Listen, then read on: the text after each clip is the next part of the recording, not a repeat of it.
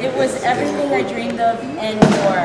The, the only problem was the night went by too way too fast. Too fast. Natalie, get in going there. for another eight hours. The service, the food, unbelievable. Impeccable. Yes, it really it was. We loved it. It was a dream. It was a dream. It was a dream come true. Yeah. The room, I mean, and you guys, unbelievable. Unbelievable.